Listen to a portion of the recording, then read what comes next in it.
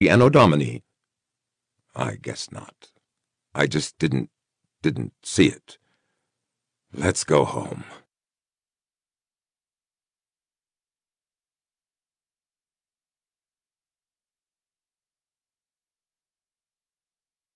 Chapter 2 Don Juan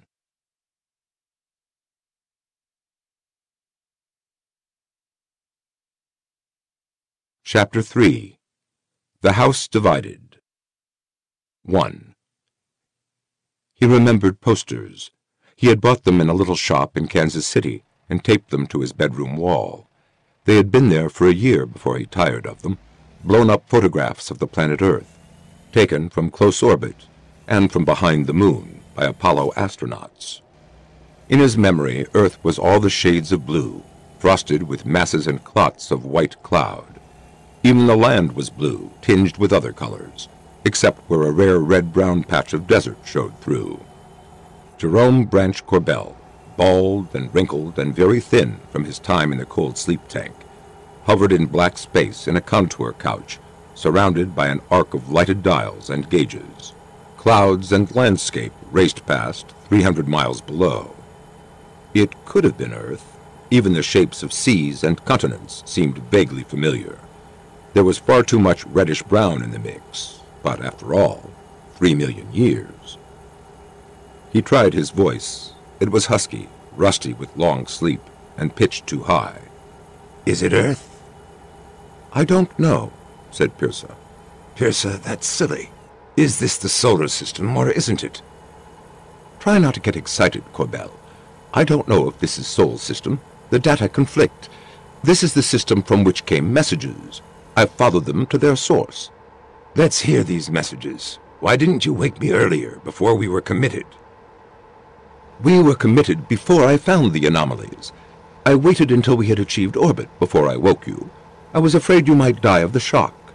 You can't tolerate another spell in cold sleep, Corbell. You would not live to reach another star. Corbell nodded. This last of his thawings was the worst yet. It was like waking with Asian flu and a brandy hangover. He felt sick and ugly. Less than ten years ago, by the evidence of his memory, the state had brought a young man to life. Ten years awake, plus a century and a half in cold sleep, had left of the young man a withered stack of bones. He had grown mortally afraid of senility, but his thoughts seemed clear. Let's deal with the messages, he said. What appeared on the womb room walls was not quite reality. Peerssa controlled those images. Peerssa projected what his senses picked up from the world below. Now Peerssa made a window appear in what had been deep space. Through the window, Corbell saw two translucent cubes slowly rotating. Within the cubes were shapes and figures formed in much tinier cubes, about a hundred per side. A laser was beamed at me while I was still 32 light-years distant from this star system, said Peerssa.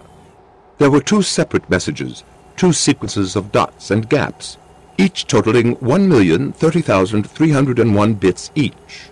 101 cubed. 101 is prime. There is some ambiguity, of course. I may have reversed, left for right. It was not the best way to make pictures, but Corbell could recognize a man and a woman holding hands, the same figures in each cube. There were polygons of assorted sizes, in rows, and rough spheres. Peerssa created a red arrow for a pointer. In your opinion, are these intended to represent human beings? Sure. He indicated the similar figures in the right-hand cube. And these? Yes. The arrow returned to the left-hand cube. This was the first message to arrive. These figures may represent atoms, carbon and hydrogen and oxygen. Go straight on. Do you agree? For all of me, they do. Why would they be there? They form the basis for protoplasmic chemistry. This bigger row, might it be a solar system? The large, nearly spherical hollow object would be the sun. The symbols inside may be four hydrogen atoms next to a helium atom. The row of smaller polygons would be planets. All right. Is it the solar system? Not unless the solar system has changed radically. What about this second cube? Why are these human figures different from the others? Corbell looked from one to the other. In the first message, the figures were solid. except for hollow bubbles to mark the lungs. The cubistic figures in the second group were hollow, and there was an X of small cubes running through them. I think I see. They're crossed out in that second message. And those rows of polygons look like eight more stellar systems, suns and planets, drawn smaller, some double suns. What message do you see? Eight star systems, two with double stars, crossed out hollow people. All right, read it this way. To whom it may concern, we are human, we fit the given model. Our chemistry is based on carbon and water. We come from a star system that looks like this. The similar people who come from these eight other systems look human, but they aren't. Except no substitutes. Does that sound right? I agree. Well, it's a very human thing to say.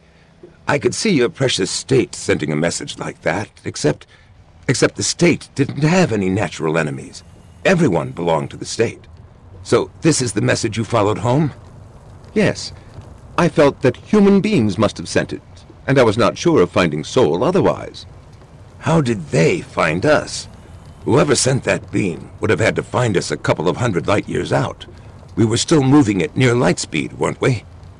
The exhaust from a ram ship would be most conspicuous to the right instruments, but the returning beam was very powerful.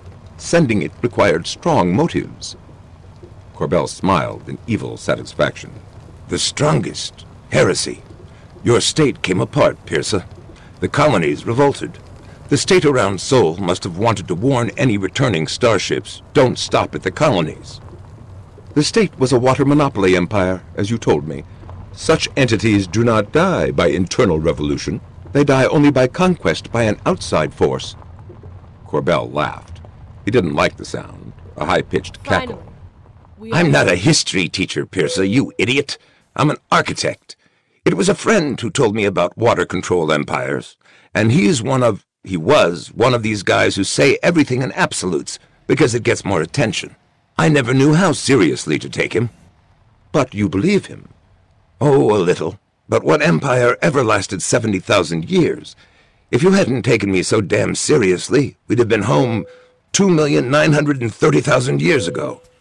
Corbell was studying the pattern of the sun and planets in the left-hand cube. We're in a system that matches that picture? Yes. There was the sun, then three small objects, then a large object with a conspicuous lump on it, a large moon, then three medium-sized objects.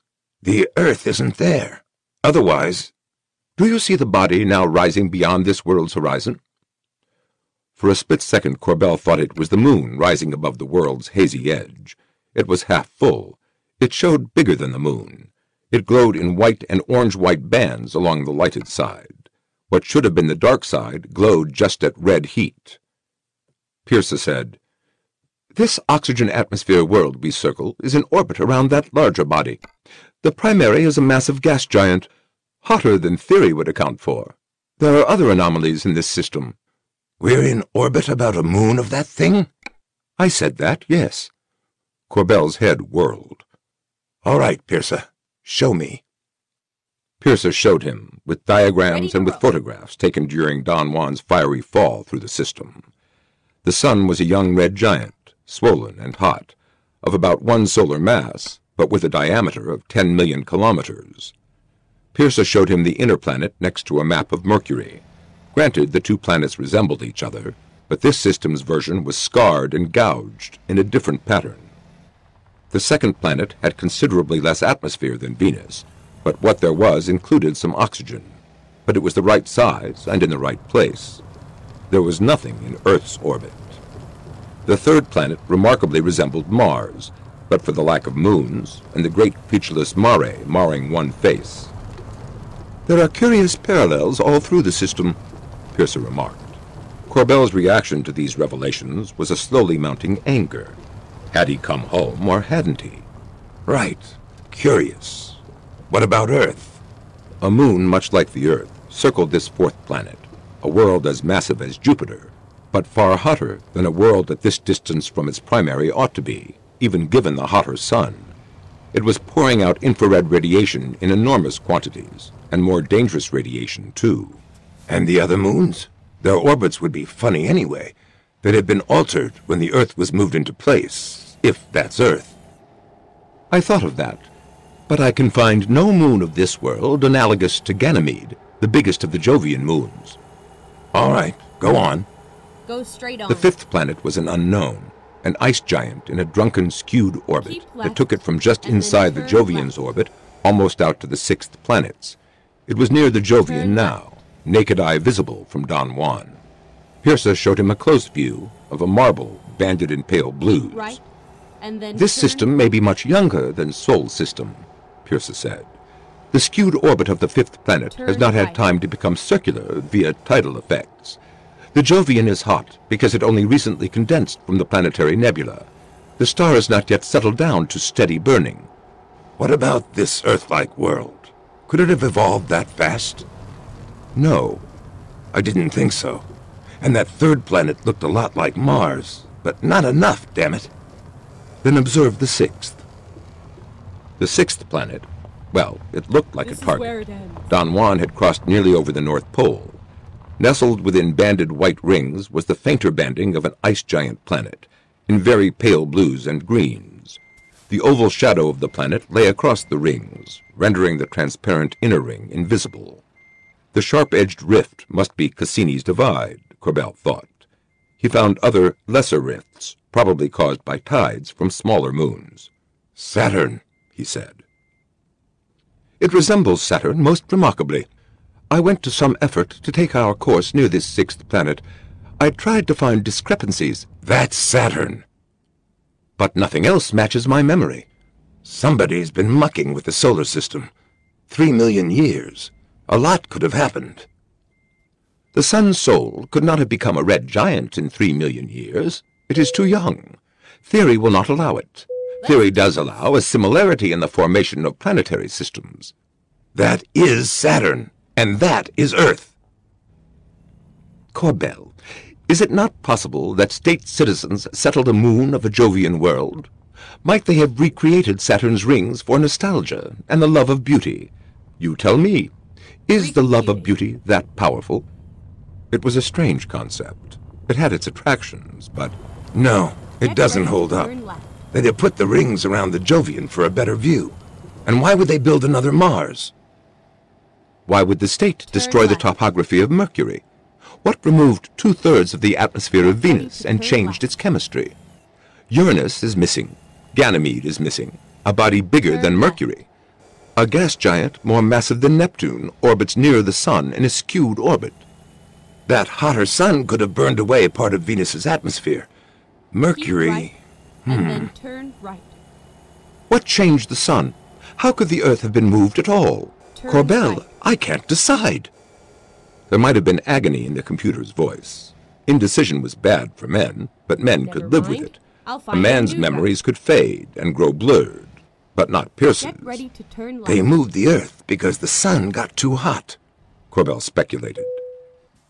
What do you imagine? Did the state moor huge rocket motors at the North Pole and fuel them with Venus's atmosphere? The ocean would have flowed to cover the northern hemisphere. The Earth's surface would have ripped everywhere, exposing magma. I don't know. I don't know. Maybe they had something besides rockets. But that was Mars you showed me, and that's Saturn, and that's Earth. There. Couldn't that be the coast of Brazil? It does not match my memory. With evident reluctance, Peerssa added, If other on. evidence were not considered, that shoreline could be the edge of the Brazilian continental shelf, altered by the shifting of tectonic plates. The ocean must have dropped. Maybe some megatons of water vapor got left behind when they moved the Earth. The state could not have moved the Earth. There would have been no need, because Sol was not an incipient red giant. Computer, you can't go against your theories, can you? What if we were in the ergosphere of a black hole longer than we thought? We might have lost more than three million years. In tens of millions of years, could the sun be a red giant? Nonsense. We would never have found Sol at all. That was the last straw, because it was true. Corbell was an uncomfortably old man with a cold sleep hangover, All right, he said between his teeth. you win the argument. Now, for purposes of discussion, we are going to assume that that planet is Earth. At long last, we have come home to Earth. Now, how do I get down? It developed that Peerssa had that all figured out. 2. Corbell's pressure suit looked clean and new. It was form-fitting, with a bulging bulb of a helmet and a pointy-ended white spiral on the chest. He would not have been surprised to find it rotted with age. It had been waiting for nearly 200 years, ship's time. He went out the airlock with the suspicion that he was going to his death. He had never done this before, and in fact, the suit held up better than he did. Panting, perspiring, with his pulse thundering irregularly in his ears, he maneuvered himself at the end of a tether and turned for a look at Don Juan. The silver finish had dulled. Corbell winced at the sight of a gaping hole in one of the probes. Peerssa had never mentioned a meteor strike. It could as easily have hit the life support system. Four of the probes were missing. The biological package probes were what made Don Juan a seeder ram ship. Each of the probes held a spectrum of algae with which to seed the unbreathable, reducing atmosphere of some nearby Earth-like world, to turn the atmosphere into breathable air, and the world into a potential colony. Of course, they had never been used for that purpose. Deprived in detail of his civil rights, Corbell had stolen the ship and lit out for the galactic core. There had been ten probes mounted around Don Juan's waist. Now there were six. I ran the onboard hydrogen tank nearly empty, Peerssa explained. I had to use four of the thrust systems in the probes to make orbit around Earth. Afterward, I put the probes in orbits as relay satellites. You will be able to call me from the surface wherever you are. Good. How do you feel? Can you survive a re-entry? Not yet. I'm out of shape. Give me a month. You'll have it.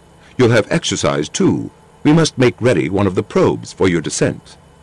I'm going down in one of those? They are designed to enter an atmosphere. Don Juan is not. I should have thought of that. I never did figure a safe way to get down.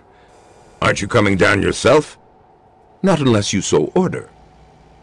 Small wonder if he sounded reluctant. It came to Corbell that Peerssa's body was the ship. He would be a total paraplegic if he survived re-entry. Corbell said, Thomas Jefferson freed his slaves on his death. Can I do less?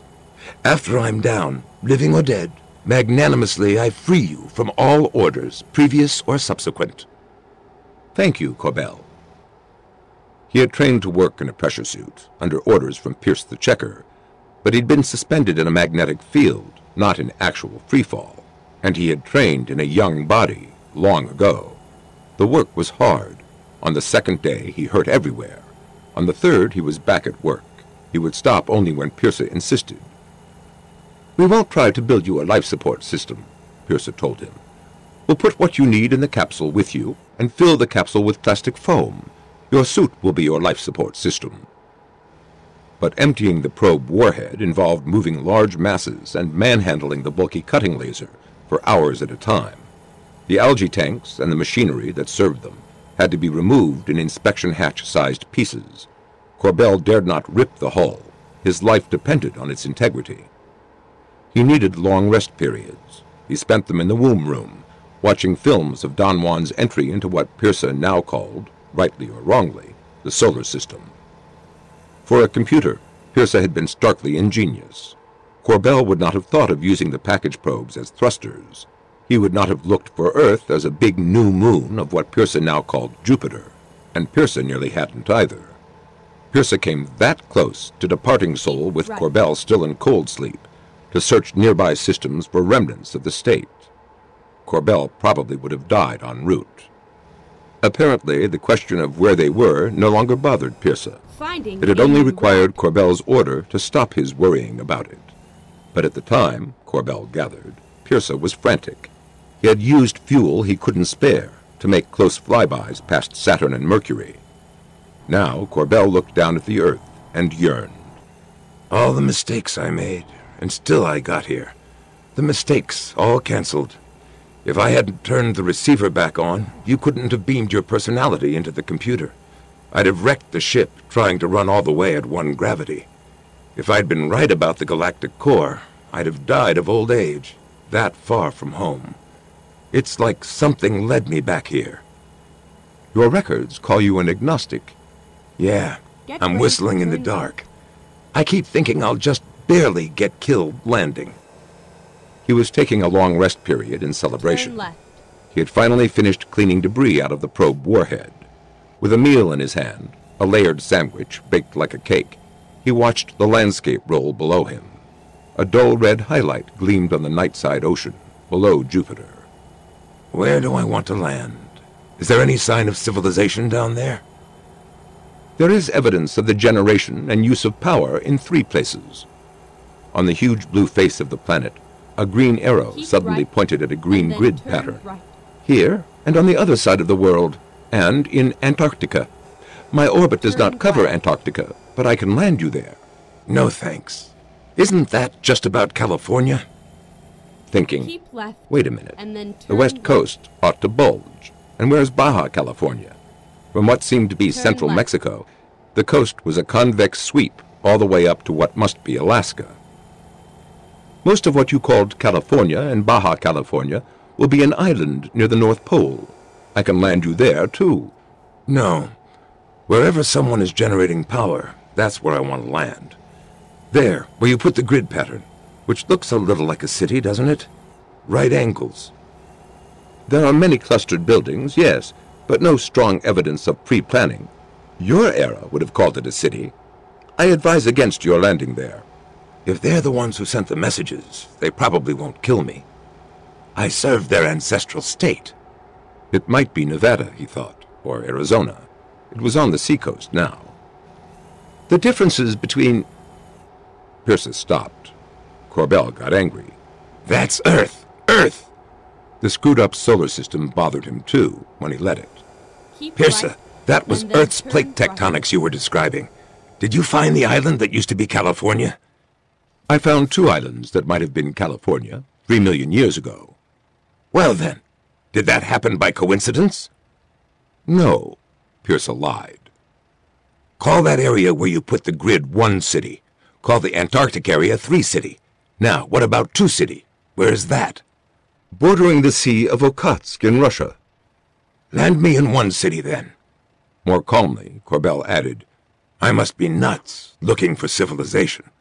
Why do I want to spend my last days fighting a foreign language? But maybe I'll have time to find out what happened here.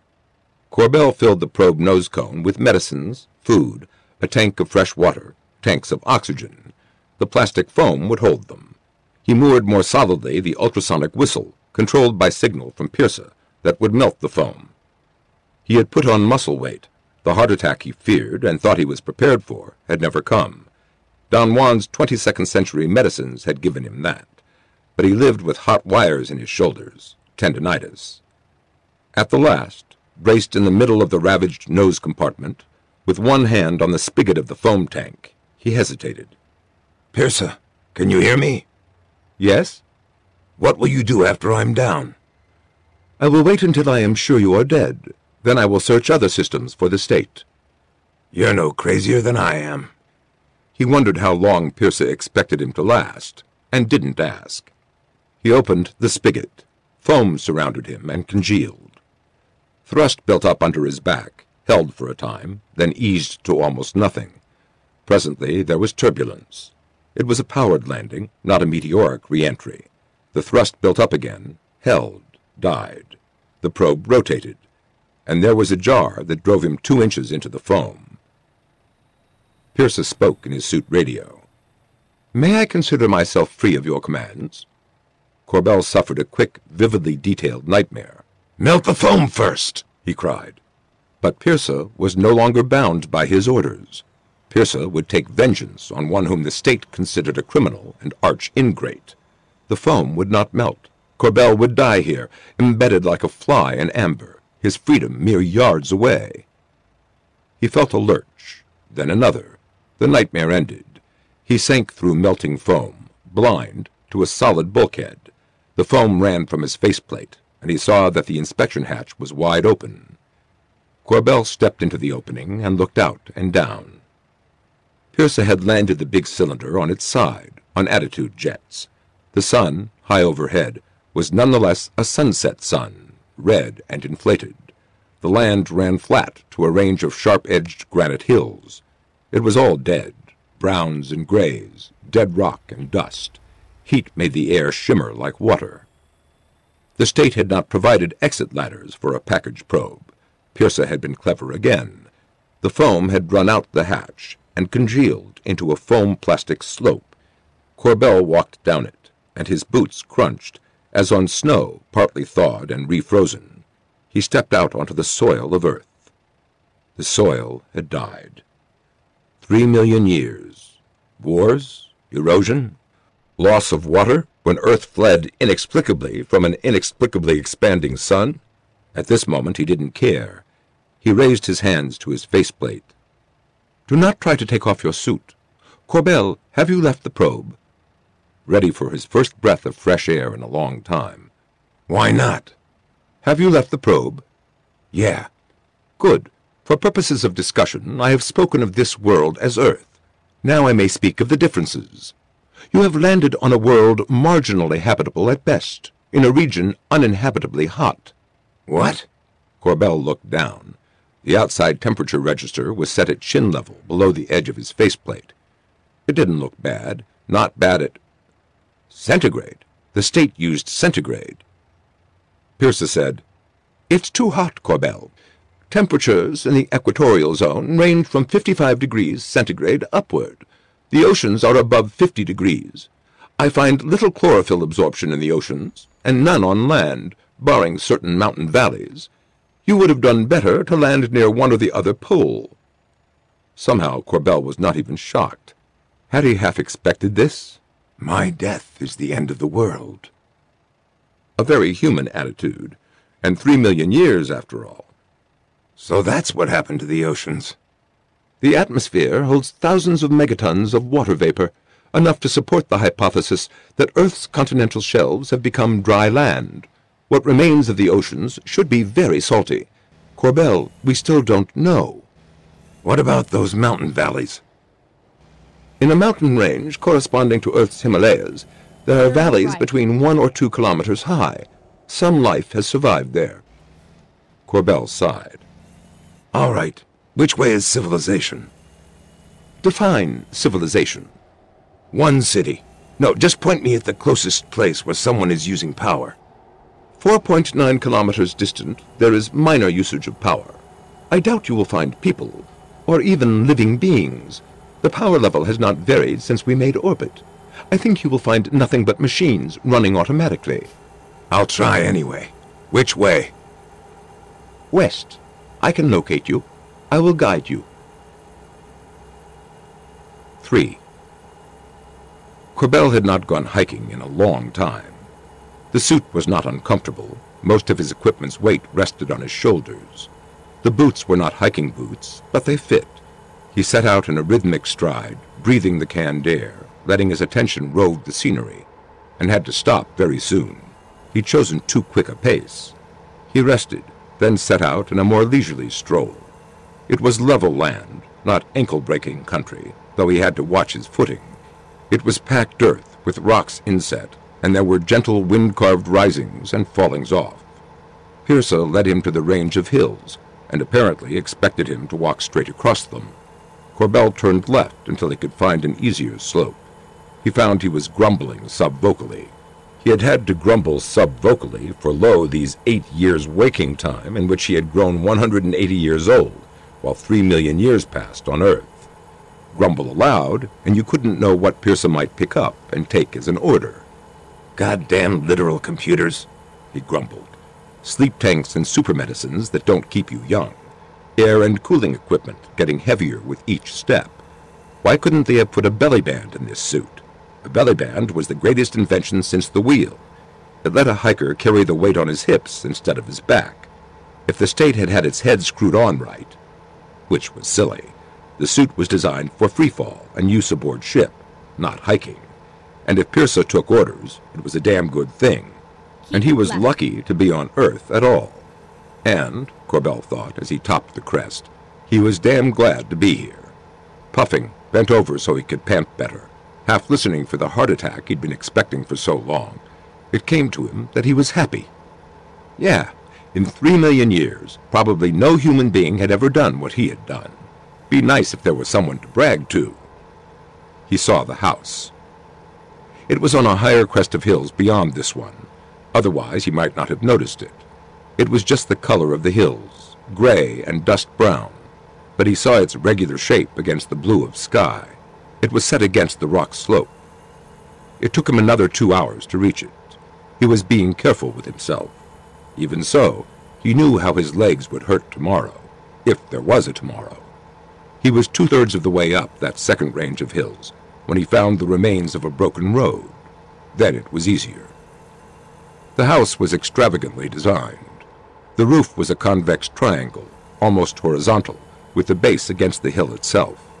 Below the roof were two walls of glass, or of something stronger. The house's single room was exposed to this single voyeur, who perched precariously on the slope and clutched at a boulder with thick gloves. It was, he thought, a hell of a place to build a house. He pressed his faceplate against the presumed glass. The floor was not level. Either the hill itself had settled, or architectural styles had changed more than Corbell was willing to believe. He was looking into a living room-sized area with what had to be a bed in the middle. But the bed was two or three times bigger than king size, and it had the asymmetrical shape of a 50-style Hollywood pool. The curved headboard was a control panel, fitted with screens and toggles and tall grills like hi-fi sound boxes, and a couple of slots big enough to deliver drinks or sandwiches. In the darkness above the bed hovered a big wire sculpture or mobile, or possibly some kind of antenna. He couldn't tell which. Two pinpricks of yellow light lived in the control panel. This is your power source, all right, Corbell reported. I'm going to find the door. Twenty minutes later, he reported, There's no door. A house must have an opening. Look for an opening that doesn't look like a door. From your description, there must be more to the house than you can see. A toilet, at least, perhaps an office, or a food dispensary. They'd have to be under the hill. Hmm. All right, I'll keep looking. He found no trace of a trap door in the roof. Could the whole roof lift up in one piece on signal? Corbell couldn't guess whether the architect would have been that wasteful of power. If there was an entrance in the road itself, then hard dirt covered it. Corbell was getting annoyed. The house couldn't have been used in a hundred years, possibly a thousand, conceivably ten thousand. Likewise the door, wherever it might be. Maybe the house had a second lower story, now buried in the hill, door and all. I'll have to break in. he said. Wait, might the house be equipped with a burglar alarm? I'm not familiar with the design concepts that govern private dwellings. The state built our colleges. What if it does have a burglar alarm? I'm wearing a helmet. It'll block most of the sound. There might be more than bells. Let me attack the house with my message laser. Will it... Will it reach? Stupid. It was designed to reach across tens of light years. Go ahead. I have the house in view. Firing. Looking down on the triangular roof from his post on the roadway, Corbell saw no beam from the sky, but he saw a spot the size of a manhole cover turn red hot. A patch of earth below the house stirred uneasily, rested, stirred again.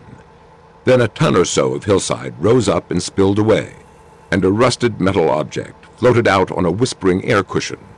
It was the size of a dishwasher, with a head, a basketball with an eye in it.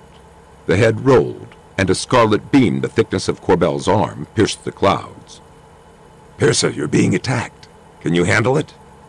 It can't hurt me. It could hurt you. I'd better destroy it. The metal object began to glow. It didn't like that. It fled away in a jerky, randomized path, while the red beam remained fixed on one point in the sky. Its upper body glowed bright red, verging on orange. It was screaming. Its frantic, warbling voice sang through Corbell's helmet. Suddenly, it tilted and arced away down the hill. It struck the plane hard, turned over and over, and lay quiet. There was a hole in the roof now. Corbell said, You think there are more of those? Insufficient data. Corbell climbed down to the roof and looked through. Molten concrete, or whatever, had set the bed afire. Corbell jumped down onto the flaming bedclothes, prepared to get off fast. Wrong again. It was a waterbed, and his feet went right through it. He waded out. then pushed the burning bedclothes into the puddle in the middle with his clumsy gloved hands. The fire went out, but the room filled with steam. I'm in the house, he reported. Peerssa didn't bother to answer. Corbell the architect looked about him. This room, the visible part of the house, was a triangle. The bed in the center had the pleasing asymmetry of a puddle of water, and it was pleasing. An arc of sofa occupied one corner facing the bed. In front of the sofa was a slab of black slate, or a good imitation, arced like the sofa, but broken in the middle. Corbell bent and lifted one end of the slab. Something on the underside, solid circuitry. At a guess, this had been a floating coffee table, until whatever was holding it up burned out. From inside the room, he still couldn't see any doors. There was only one opaque wall to inspect. He moved along it, rapping. It sounded hollow. Door controls on the headboard? Nuts. You'd have to walk clear around to the other side. Wait, there was something on the back side. Three thumb-sized circular depressions of chrome yellow against black headboard. Corbell pushed them. The back wall slid up in three unequal sections. The biggest one was a closet. Corbell found half a dozen garments in it, all one-piece, long-sleeved garments with lots of pockets. Some had hoods. A layer of dust at the bottom of the closet was two to three inches thick. The second section was smaller, no bigger than a telephone booth, with a free-form chair in it. Corbell stepped in.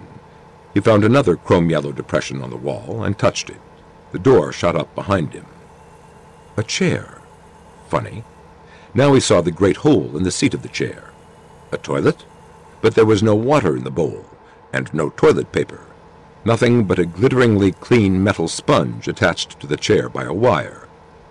He left the cubicle.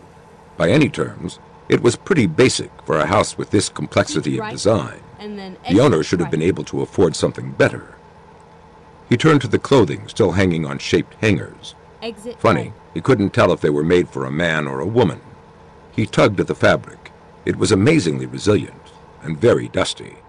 He tugged harder, then tried in earnest to tear the cloth. It stood his full strength. This clothing seemed new, but the dust? Say there were temporary clothes, meant to be thrown out when styles changed, and clothes meant to last longer. How long? If that layer of dust was the temporary clothes, he still hadn't found a door. The third cubicle looked promising. There was nothing in it at all except for one unmarked switch, like the yellow circle in the bathroom, and a panel of four white glowing touch points. I think I found an elevator, He said. I'm going to try it. He used the yellow touch point. The door came up. He turned on his helmet lamp. Peerssa said, Dangerous. What if the elevator takes you down and then breaks down? Then you beam me another manhole to climb out of. Corbell pushed the top button. Nothing happened. He'd expected that. He must be at the top. He pushed number two. Peerssa's voice came unnecessarily loud. Corbell, answer if you can. Yeah? There had been no sense of motion, yet something had changed.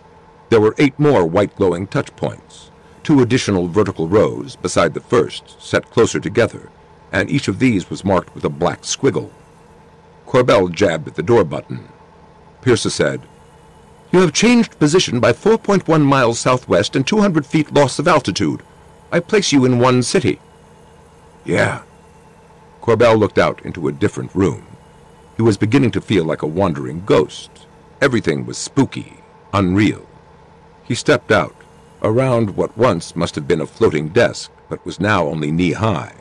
Screens and push-button panels set into the desk made it look like the control board in the womb room. But they were ruined. It must have rained here for hundreds of years. There was a rug like half-melted cotton candy, deep as his ankles. It squished beneath his boots and tore and stuck to his suit fabric. He stepped to the edge of an empty picture window frame and looked out and down. Thirty stories of windows and empty frames dropped away beneath his toes. He saw much taller buildings around him. There, to the right, a masonry behemoth had fallen, taking buildings and pieces of buildings with it. Beyond that gap, beyond the mist and rain, he thought he could trace a gray-on-gray outline, a cube, impossibly large, whose walls had a slight outward curve. Peerssa, did the state ever have any kind of instant transportation? Like a telephone booth, but you dial and you're there? No, Well, these people did. I should have guessed. Me, of all people. That house wasn't a house. It was only part of a house.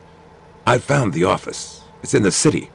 There ought to be a bathroom and a dining room and maybe a game room. God knows where. What we broke into was the bedroom. It's likely that the machinery has not been tended for a long time. Bear that in mind.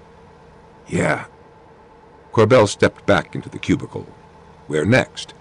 He pushed the third down in the row of unmarked buttons. A light flared to life in the ceiling. The extra buttons had vanished. Corbell stepped out and smiled. Definitely, this was the bathroom. The outside temperature register at his chin was dropping. I think this place is air-conditioned. He said. You have traveled 3.1 miles west by southwest and have lost 600 feet of altitude. Okay. Corbell opened his faceplate. Just for a moment, he'd close it fast if... But the air was cool and fresh. It came to him as he let the heavy backpack section fall that he was exhausted. He pulled himself out of the rest of his armor and crouched at the edge of a bathtub, almost big enough to be called a pool. He couldn't read the markings on the water spigot. He turned it all the way in one direction and pushed it on. Hot water splashed into the tub. He turned it the other way. Boiling water spurted out, spitting steam. He recoiled. If he'd been in the tub... Okay, the cold water was hot, but it wasn't too hot to stand. It flooded out and around him as he lolled on the curved bottom. A tiny voice called, Corbell, answer. He reached and pulled the helmet to the edge. I'm taking a rest break. Check back in an hour. And send me a dancing girl. 4. A tiny voice peeped. Can. Repeating, Corbell, answer if you can. Repeating, Corbell. Corbell opened his eyes. Every texture was strange to his sight and his touch. He was nowhere aboard Don Juan. Then where... Ah. He'd found two projections at the edge of the sunken tub, soft mounds like a pair of falsies, just right to rest his head between. His neck was still between the pillows. Lukewarm water enveloped him. He'd gone to sleep in the tub.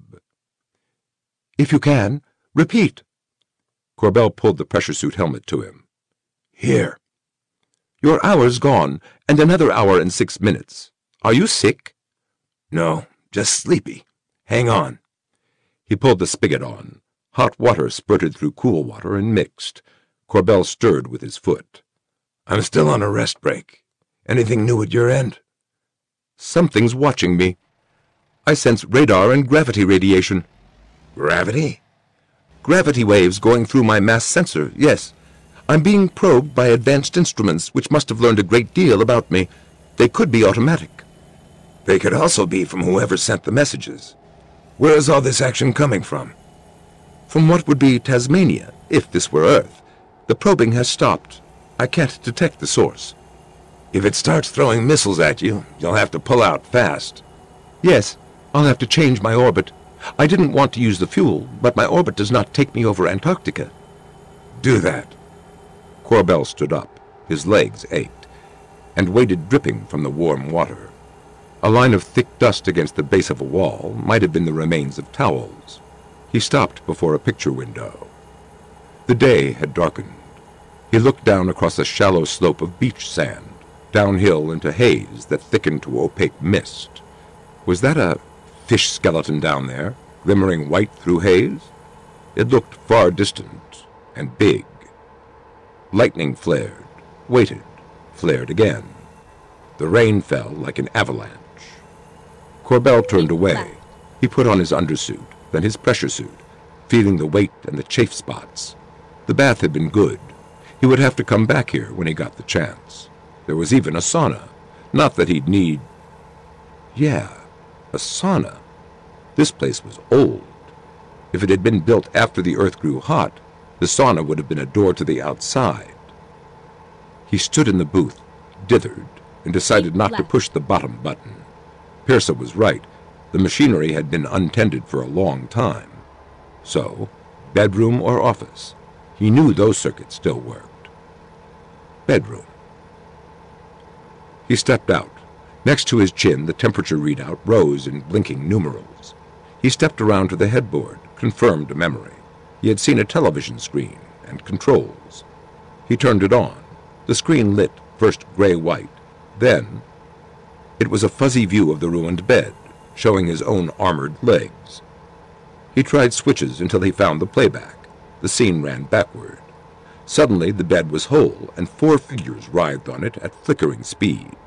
The scene jumped to a different foursome, or to the same foursome differently dressed, before he found a way to freeze it. Corbell, I have tried to signal the source of the probes, to no effect. Okay. Listen, if you have to run, just do it. We'll both be safer if you don't stop to call me about it. What will you do now? I'm watching home movies. Corbell chortled. This place is like the Playboy Mansion. There's an invisible video camera focused on the bed. A degenerate civilization, then. Small wonder that they could not save themselves. You should not degrade yourself by watching. What are you... What about the loving bunks in the dormitory in Sealerdor? Keep left. That wasn't degenerate? It was not thought polite to watch the loving bunks. Corbell swallowed his annoyance. I want to know if they're still human. Are they? The tape's faded, and they're wearing clothes, loose suits with lots of openings in them, in pastels. If they aren't human, I can't see the differences. But they're thin, and they don't seem to carry themselves right. He paused to watch. And they're very limber. The situation isn't quite what I thought. Keep left. In what way? I thought it was an orgy for four. It isn't. It's like in ancient China. Two of them are servants. They're helping the other pair get into those advanced sexual positions. Maybe they're not servants, maybe they're trainers or teachers. He watched some more. Or even, they're as limber as dancers. Maybe that's what they are. I wish I had a view of the couch. There might be spectators. Corbell. Yeah? Are you hungry? Yeah. I may have to use that fourth button. I wouldn't bother. If a thousand-year-old kitchen is your only food source, you'll die quickly. Your suit will only recycle air for another 71 hours. Your food syrup reserve is trivial. I suggest you try to reach the South Pole. I am over it now. I see a large continental mass and forest. Well, fine. Corbell switched off the stag movie and made for the booth. The second button down created a panel of eight buttons beside the smaller panel. He studied it. The symbols on those eight buttons might be letters or numbers. He reached, then drew back. I'm afraid of it. Of what? Of this panel in the office. See, there are four white buttons in all the booths. I think that's an intercom, a closed circuit. You couldn't get into it except from the office, or by breaking in the way we did. But there are eight buttons with squiggles on them here in the office. I think they must be more like a telephone dial, and there's a private number that lets you into the office. Reasonable. Well, what happens when you dial a phone number at random? In my time, there was a recorded voice to tell you you had made a mistake. Yeah, we had that too. But in this instant transportation setup, you might be sent nowhere. Poof. That would be poor design. Can you find a telephone directory? There was nothing like that in the booth. Corbell opened the door. Rain and howling wind were blowing into the office. Fat drops plated themselves across his faceplate. He walked around the desk, waited a minute for the water to run off the glass, then began pulling at desk drawers. Keep They right, didn't want to open. And then exit. He pried one open and found it half full of gray-green mold. An abandoned apple? Machines were set into the desktop. Telephone, picture phone, computer link. What? No telling now. Time and rain had destroyed them. I'll have to try pushing buttons at random. He told Peerssa. Good luck. Why did you say that? To be polite. Corbell examined the array of eight buttons by the light from his helmet. The booth could kill him so fast he'd never know it. Punch at random? He could do no better than that. He chose a button, the fifth, counting across and down, whose symbol looked like an upside-down L.A. gallows. He pushed it once, pause, Go twice, on. pause, thrice. Four did it. Suddenly, there was indirect lighting around the rim of the ceiling. The door wouldn't open. Annoyed, he chose another button, an hourglass on its side, and compressed from both ends. Four, Right. four, four, four. You have changed position twice, Peerssa informed him. This time the door opened. There were disintegrating skeletons in identical uniforms? Loose garments, short pants, sleeveless shirts with rolls of fabric at the shoulders. Under the dust, the garments looked new, in bright scarlet with black markings. The bones inside were crumbled with age, but they could not have been big men, five feet tall or thereabouts. Corbell moved among them looking for bullet wounds. No holes in the garments or the skulls, but from the way they sprawled, they seemed to have died in a firefight, and they seemed to be human. He found desks at what looked like computer terminals. A thick sliding door had been melted out of the wall. Beyond it were cells. Their gridwork doors were decoratively lacy and different on each cell, but they were locked, and there were more skeletons in the cells. Police station, He reported to Peerssa. I was trying for a restaurant. I pushed the same button four times. He heard irritation in his voice. Getting tired? See, what I didn't want was a number that went nowhere. The numbers the restaurants fight for are the ones that are easiest to remember. At least they used to be. The state restricts those numbers to important municipal functions, police stations, hospitals, ombudsmen. Corbell stepped through another, larger, melted door. Doors beyond retracted before him, and he stepped into a waterfall of rain. He'd finally made it outside. He couldn't Okay. see much. Let's a city a street, route. and occasional heaps of clothing peeking through the mud. Skimpy one-piece shorts and undershirt garments Finding in every pattern route, and color, save I'll scarlet. find a new route.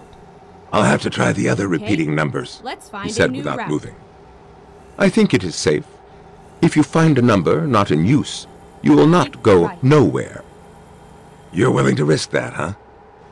He still hadn't moved. The rain ran down his faceplate and drummed on his helmet. There is an alternative.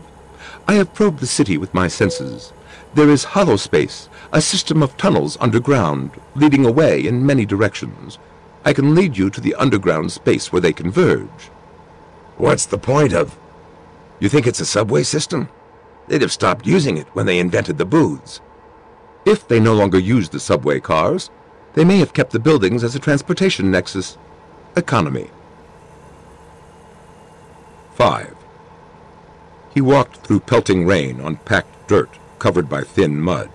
It sucked at his boots. He couldn't afford the energy that cost him. He was already too tired.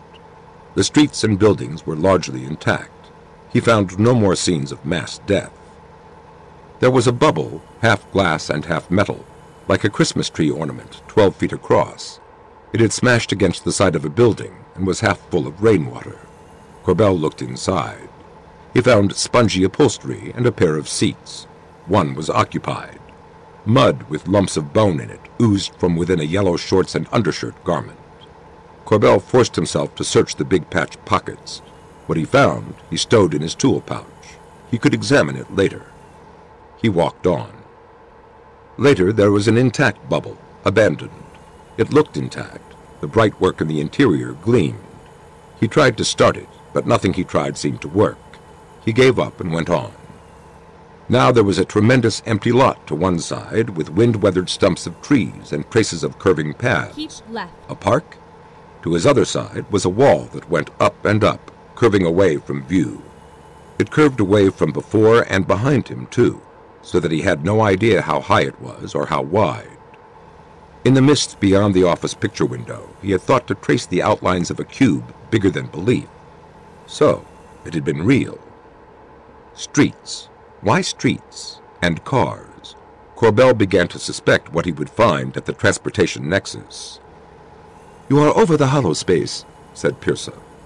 That's good. I'm tired. Corbell looked around him. Mummified park to the left, wall to the right. Ahead, the wall turned to glass. An entire wall of glass doors. He pushed through into gloom lit by his helmet lamp. The ceiling gave no sense of distance, only of random colors that changed with his position.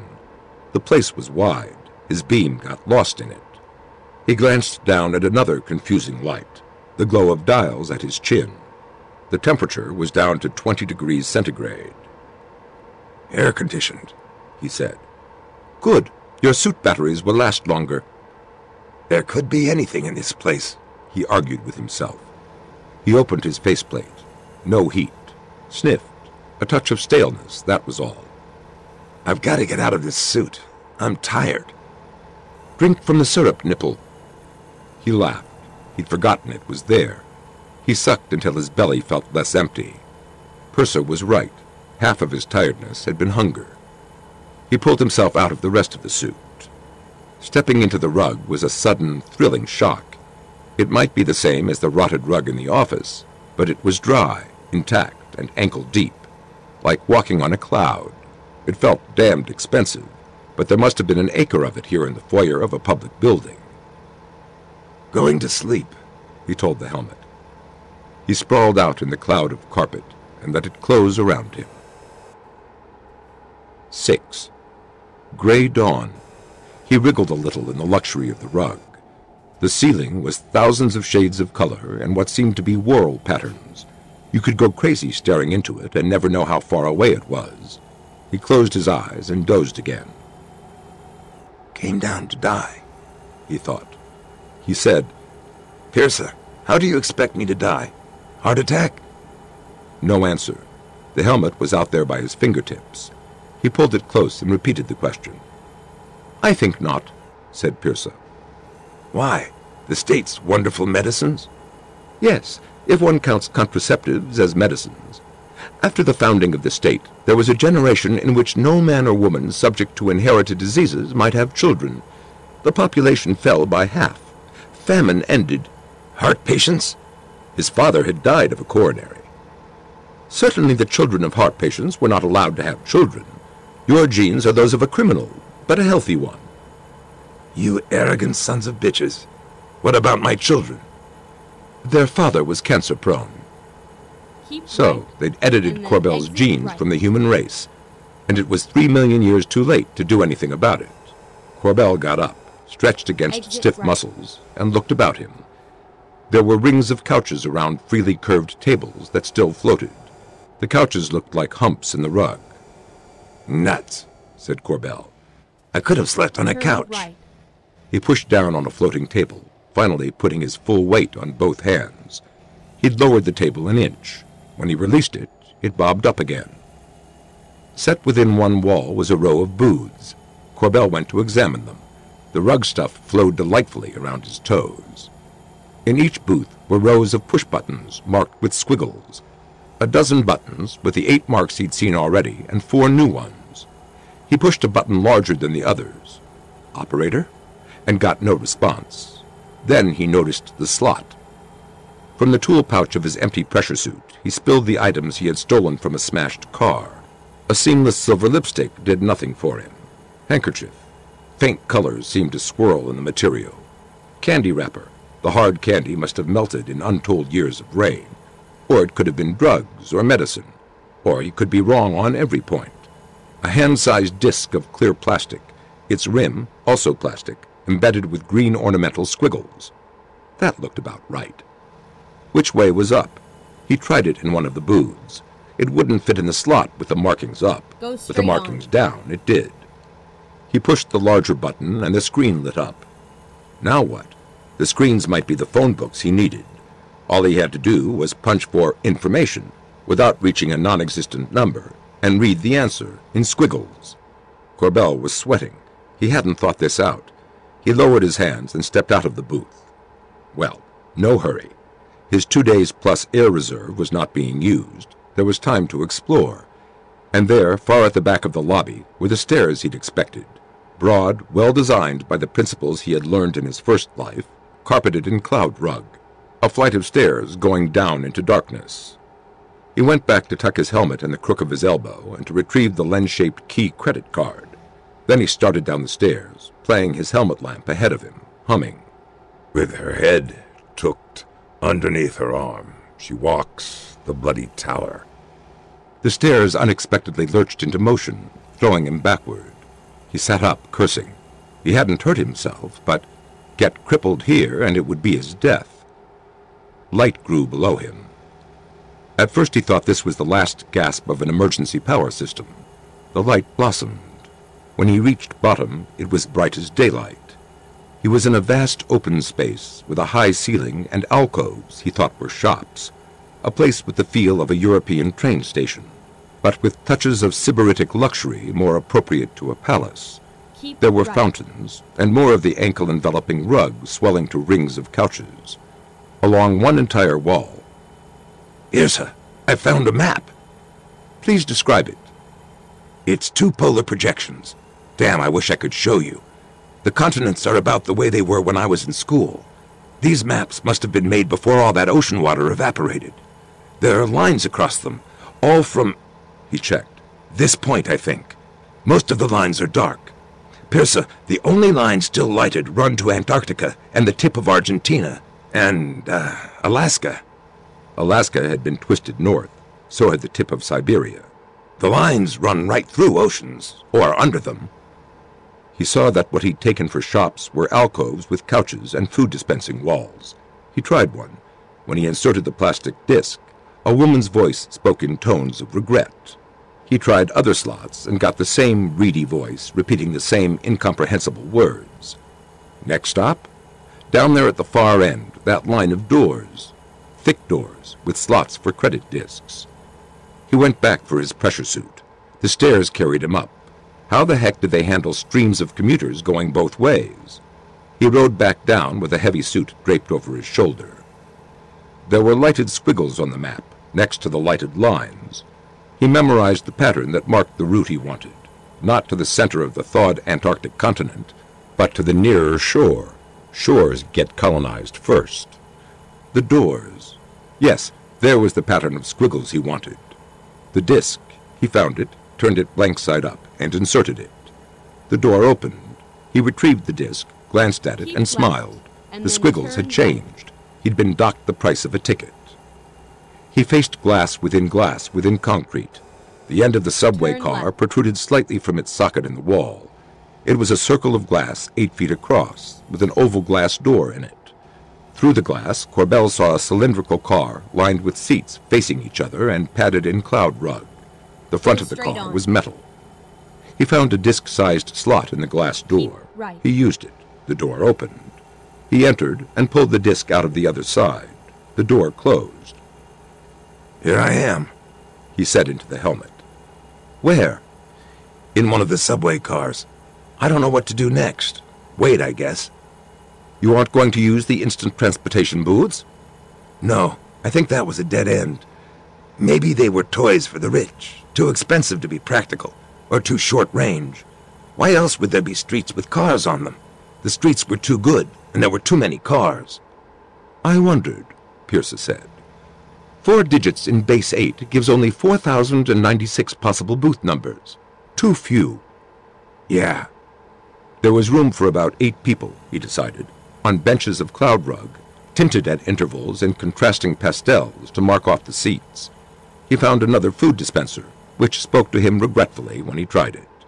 Behind a half door that would barely hide one's torso, he found a toilet, again equipped with one of the glitteringly clean metal sponges. He tried that, too. His best guess was that the sponge had an instant elsewhere unit in it. It cleaned itself miraculously. There were arms for the benches. They had to be pulled out of a slot along the back and locked. There is increased power usage from your locus, said Peerssa. Then something's happening. Corbell stretched out on the cloud rug bench to wait. No telling about departure time.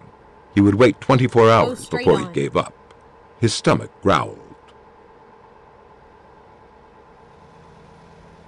Chapter 4 The Norn 1 Somebody spoke to him. Corbell jerked violently and woke with a scream on his lips. Who but Peerssa could speak to him here? But he was not aboard Don Juan. The voice had stopped. Peerssa spoke from his helmet. I do not recognize the language. Did you expect to? Play it again for me. He listened to Peerssa's recording of a boyish voice speaking in reassuring, liquid tones. Afterward, he sighed. If that guy was waiting to meet me himself, what could I tell him? What could he tell me? I'll probably be dead before I can learn his language. Your story has wrung my heart. Most of your contemporaries only had one life to live. Yeah. Your self-centered viewpoint has always bothered me. If you could see yourself as... No, wait a minute. You're right. You're dead right. I've had more than most men are given. More than most men can steal, for that matter. I'm going to stop bitching. Get ready. You amaze me. Will you now dedicate your services to the state? What state? The state's dead. My self-centeredness is as human as your fanaticism. The stranger's voice spoke again, in beautiful, incomprehensible words, and Corbell saw him. His face was beyond the car's forward wall, beyond the metal, as if the metal were Go transparent. straight on. A hologram? Corbell leaned forward. It was the bust of a boy, fading below the shoulders. He was twelve or so, Corbell guessed, but he had the poise of an adult. His skin was golden. His features were a blend of races, black, yellow, white, and something else, a mutation perhaps, that left him half bald. He had only a fringe of tightly curled black hair around the base of the skull and over the ears, and an isolated tuft above the forehead. The face smiled reassuringly and vanished. The car shot forward and down. Corbell was on a roller coaster. He pulled out a chair arm and hung on. The car fell at a slant for what felt like half a minute. Then there was high gravity as car and tunnel curved back to horizontal. Light inside, darkness outside. Corbell was beginning to relax when the car rolled, surged to the left, rolled, surged to the right, steadied. What was that? Changing tunnels? His ears popped. Peerssa spoke. Your speed is in excess of 800 kilometers per hour and still accelerating. A remarkable achievement. How do they do it? At a guess, you are riding a gravity-assisted linear accelerator through an evacuated tunnel. You're about to pass beneath the Pacific Ocean. Can you still hear me? Barely. Corbell, answer if you can. Corbell, answer... Peerssa's voice faded completely. Peerssa! Nothing. Corbell's ears and sinuses felt pressure. He worked his jaw. There was no reason to panic, he told himself. Peerssa would pick him up when he reached Antarctica. The hissing sound of motion was sleep-inducing. Corbell was tempted to lie down, preferably with his feet forward, because there would be deceleration at the end. To sleep, Right. perchance to dream. right. What kind of dreams does the last man on Earth have while traveling beneath the Pacific Ocean at Mach one and a half Turn in a right. subway system that hadn't been repaired in hundreds of years? He could be stopped beneath the Pacific to suffocate slowly, while an almost human ghost reassured him that service would be resumed as soon as possible. Peerssa could wait forever for him to emerge. Too much imagination and I'll scare myself to death. Too little and I'll get myself killed. Corbell worked his jaw to relieve pressure in his ears. Had Peerssa said evacuated? He poked his head into the helmet to see the dials. Air pressure was down and still dropping. He panted as he worked his way into the pressure suit. Vacuum tunnel, right, he gasped. Stupid, stupid. The car Keep leaks. right. And what and else had deteriorated in this ancient system of tunnels? But now the ride was superlatively smooth. Turn right. Presently, Corbell emptied his bladder, then emptied his suit's bladder into the toilet.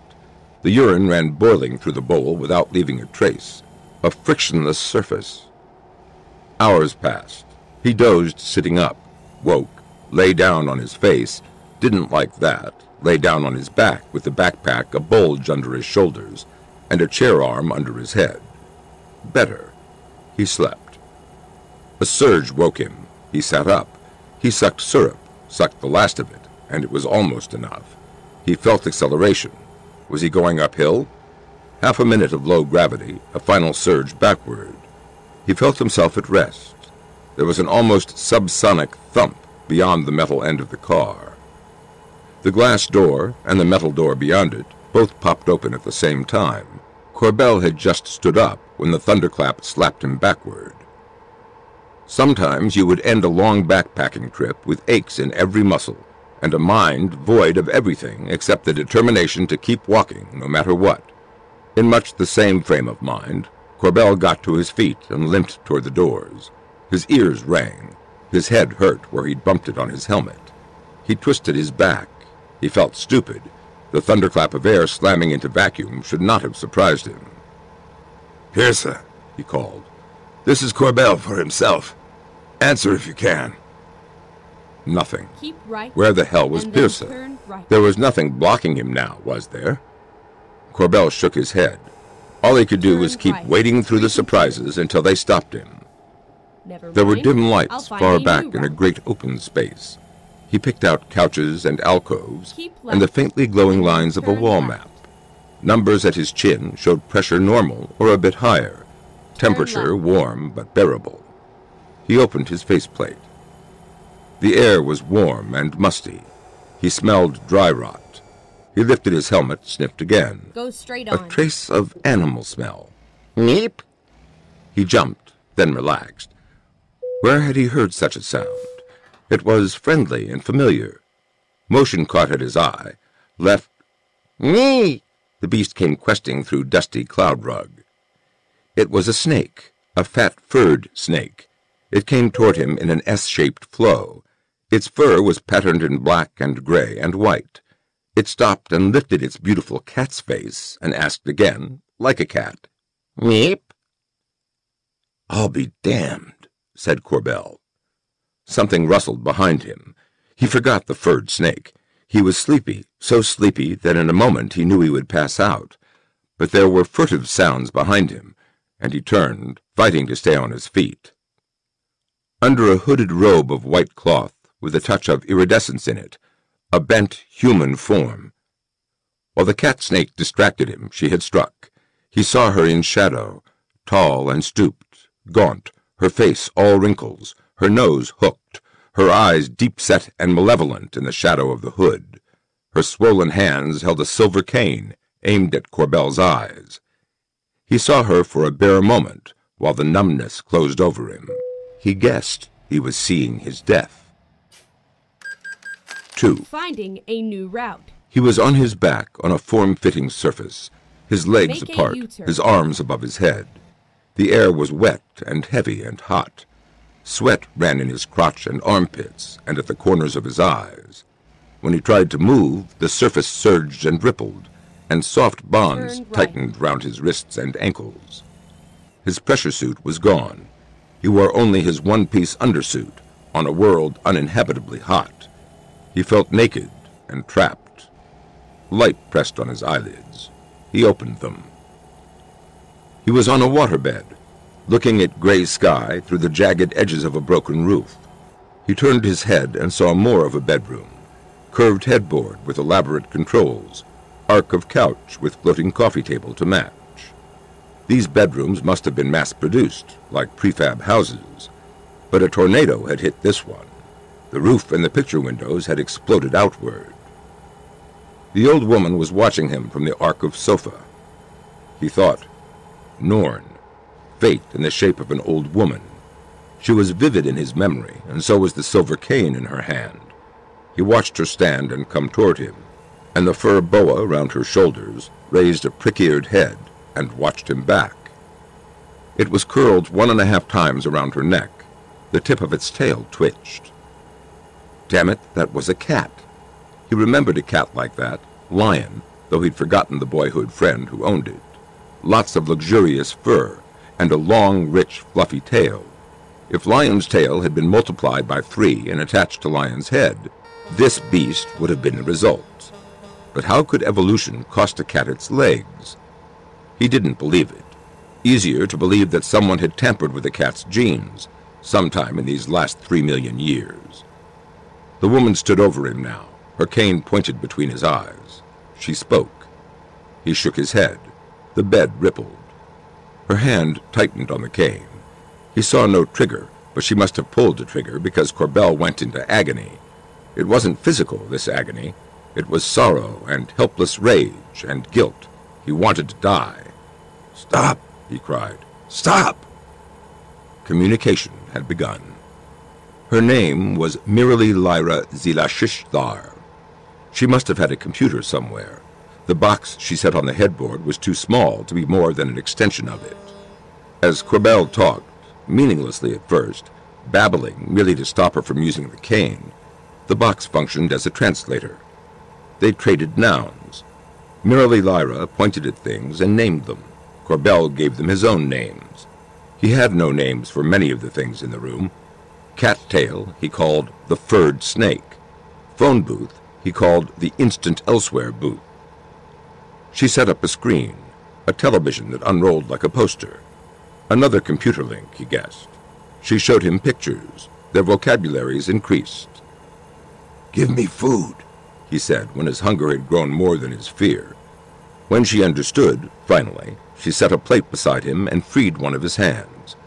Under her watchful eye and the threat of her cane, he ate and belched and communicated. More. She took the plate behind the headboard.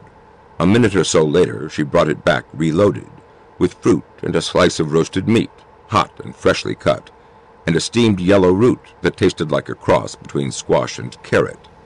As he shoveled down the first plateful of food, he had hardly noticed what he was eating.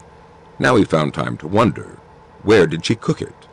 And to guess that she used the phone booth to reach her stove. The cattail dropped from the old woman's shoulder onto the bed. Corbell froze. It wriggled across the bed and sniffed at the meat. Mirelly Lyra thumped it on the chest, and it desisted. Now it crawled up onto Corbell's chest, reared, and looked him in the eyes. Corbell scratched it behind the ears, its eyes half closed, and it purred loudly. Its belly was hard leather, ridged like a snake's, but its fur felt as luxurious as it looked. He finished his second helping, feeding some of the meat to the cattail. He dozed off, wondering if Mirelly Lyra would shake him awake. She didn't. When he woke, the sky was black, and she had turned on the lights. His free hand was bound again. His pressure suit was nowhere in sight. Even if she freed him, she would still have the cane. He didn't know if the phone booth worked. At the back of his mind, he wondered if Peerssa, thinking him dead, had gone on to another star. What did she want with him? They worked on verbs, then on descriptive terms. Her language was of no form he had ever heard about, but the screen and mechanical memory made it easy for them. Soon they were trading information. Take off the ropes. Let me walk. No. Why? I am old. So am I, said Corbell. I want to be young. He couldn't read expression in her voice, but the way she'd said that jerked his head up to look at her. So do I. She shot him with the cane. Guilt, fear, remorse, death wish. He cried and writhed and pulled at his bonds for eternal seconds before she turned it off. Then he lay staring at her in shock and hurt. Her face worked demonically. Abruptly, she turned her back on him. His thrashings had frightened the cattail. It had fled. I want to be young. And blam! And now her back was rigid and her fists clenched. Did she hide red rage or tears? Why? Is it my fault she's old? One thing was clear. She was keeping him tied up for her protection and his own. If she used the cane on him when his hands were free, he might kill himself. The cattail crawled back onto his chest, coiled, and reached to rub noses with him. Me? It demanded an explanation. I don't know, he told the beast, now rumbling like a motor on his chest. I don't guess I'll like the answer. But he was wrong. She freed one of his hands and fed him. It was more of the same. Two fruits, a steamed root, roasted meat. She fed the cattail while she was at it. The fruit was fresh. The meat was like overdone roast beef sliced moments ago. She had been out of sight behind the headboard for no more than a minute. Even a microwave oven wasn't that fast, or hadn't been in 1970. It stuck in his mind. And he had to go to the bathroom. She was irritatingly, embarrassingly slow to understand. He knew she had the idea when she began to pace, scowling, dithering as to whether to leave him in his own filth. Eventually she freed him, first from behind the headboard, his wrists, then his feet. She stood well back, covering him with the cane, while he went into the middle closet. Alone at last, with the door blocking her eyes, he let out a shuddering sigh. He wouldn't try to escape, not this time. He knew too little. It wasn't worth the risk that she wouldn't let him go to the bathroom again. It wasn't worth the risk of the cane. The cane. It had reduced him to a groveling slave, instantly, twice. He had never even considered keeping his dignity. In that, the cane lost half its power. He could feel no shame. Still, he knew that too many applications of the cane would leave him nothing like a man. He was a shell of a man reanimated by electrical currents and injections of memory RNA. Keep He had been changed again and again, but whatever he was, he was still a man. What the cane might do to him was cruder, more damaging. He would cooperate. But she was mad. Left. Even if sane by the standards of her time, unlikely. By Corbell's, she was mad and dangerous. Old and feeble as he was, he would have to escape before she killed him. The phone booth must be working. He'd seen no microwave oven here in the bedroom. Good. Calling Peerssa would have to wait. He dared not ask after his pressure suit. It might show that he was thinking dangerous thoughts. And even if Peerssa were still in the solar system, how could he help? Corbell left the booth and returned to his spread-eagled position on the bed. Mirelly Lyra moored his hands from behind the headboard, then his ankles. They resumed their conversation. The translator skipped words. He missed some of it before he realized what he was hearing. Then he asked questions, got her to back up for the blank spots. He heard it in bits and pieces. She was Mirelly Lyra Zilashishthar, a citizen of the state. The state? He wondered about that. But she described it in much the way Peerssa did, except that her state had been the government of all known worlds for 50,000 years. Corbell's years, for the earth had not yet been moved. In her youth, she had been supernaturally beautiful. Corbell tactfully did not question this. Men went incomprehensibly mad over her. She never understood the force that drove men to such irrationality, but she used her sex and her beauty as she used her mind, for advancement. She was born hyperactive and ambitious. By the age of 20, she was high in the ranks of intrasystem traffic control. Because she was now in a position of responsibility, the state conditioned her. After conditioning, her ambition was not for herself alone, but for the good of the state. The conditioning was routine, and, Corbell gathered from later data, it didn't quite take. If she advanced the state's ambitions by guiding the courses of spacecraft within the solar system, certainly she advanced herself, and she came to the attention of a powerful man in a collateral branch of the bureaucracy, sub-dictator Koribessel Jakunk. Corbell heard his name often enough to memorize it, was not her direct superior, but he could do her some good. So powerful a man was allowed some leeway for his personal desires, that he might serve the state more readily. The old woman saw nothing wrong in this. She was impatient when Corbell did not understand at once. It may have formed a spur to her own ambition. His personal desire was Mirelly Lyra Zilashishthar, He told me that I must be his mistress, she said. I wished more stature for myself than that. I refused. He told me that if I would share his life for a four-day period, he would gain for me a position in full charge of the Bureau. I was only 36 years old. It was a fine chance. She played him as she had played other men. It was a mistake. Corbell had wondered why he was being made captive audience to an unsolicited soap opera. He began to find out. Three million years later, at what looked to be 80 or 90 years old, she was still wondering what had gone wrong. The first night I used a chemical to help, to make one want sex. An aphrodisiac. It went into the computer memory. I needed it. The second night he would not let me use chemicals. He used none himself. I had a bad time, but I did not complain then or on the third night. On the fourth day he begged me to change my mind, give up my position, become his woman. I held him to his promise. For seven months, she was head of the Bureau of Intrasystem Traffic Control. She was then informed that she had volunteered for a special mission, a glorious opportunity to serve the state. It was known that there was a hypermass, a black hole, at the center of the galaxy. Mirelly Lyra was to investigate it. After some preliminary use of automated probes, she was to determine, by experiment, whether, as theory predicted, such a black hole could be used for time travel. If possible, she was to return to her starting date. Why did he do it? She wondered. I saw him once before I left. He said that he could not bear to have me in the same universe if I was not his. But this was not what he offered at all. He may have thought, said Corbell, that four days of ecstasy would do it. You'd throw yourself into his arms and beg not to be sent away. For a moment he feared she would use the cane. Then she broke into dry, cackling laughter. He saw something likable reflected there. Before her face drooped in brooding hate. Now she looked like death itself, the Norn. He sent me to the black hole. I saw the end of everything. Keep right. So did I. Exit right. She didn't believe him. At her urging, he described it as best he could.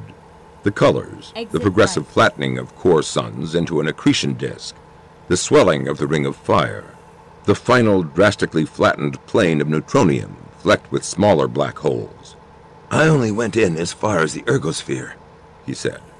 And that was only to get me home fast. Did you really go through the singularity? Right. And She was long in answering. No. I was afraid. When the time came, I did not think I owed the state that much. Turn right. Her conditioning had worn off to that extent, at least. She had circled the black hole, using its mass to bend her course back on itself, and headed for home.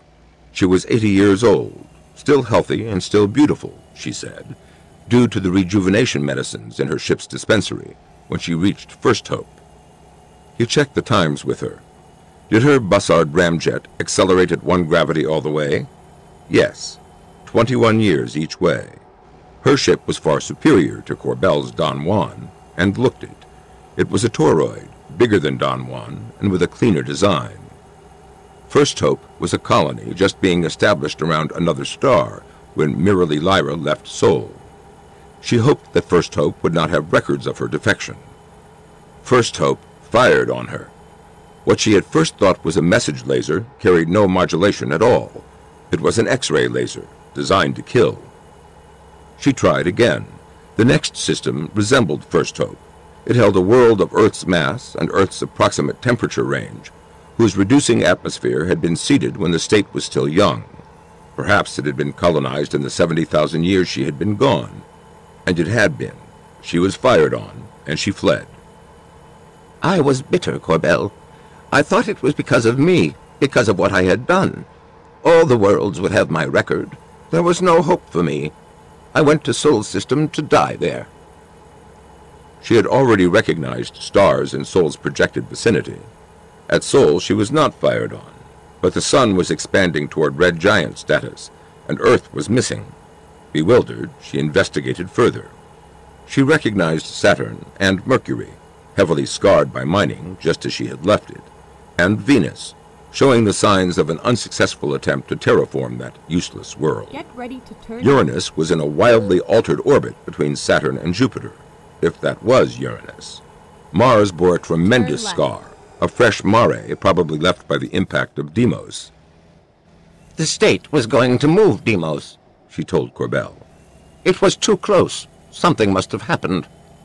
She found Earth orbiting just inside the orbit of Mars. Corbell asked, Any idea how they did that? No.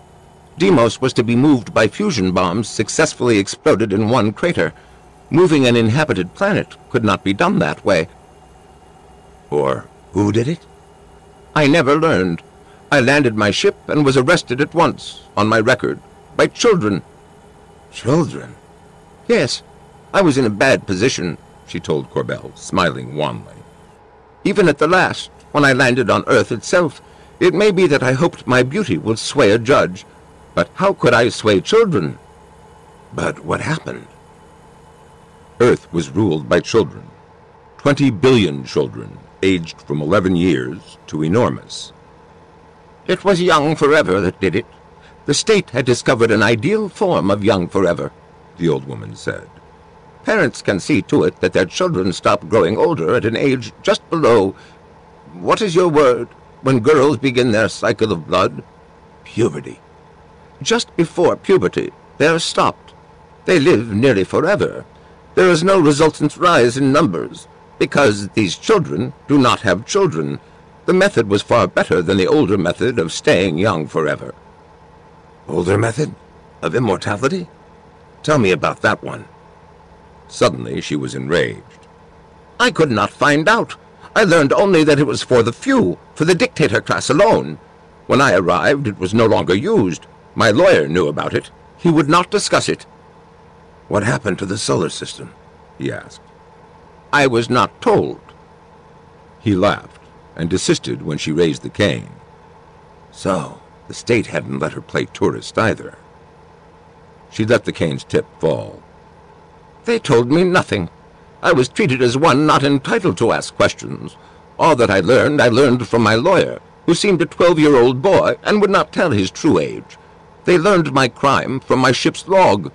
They sentenced me to... Untranslated. What was that?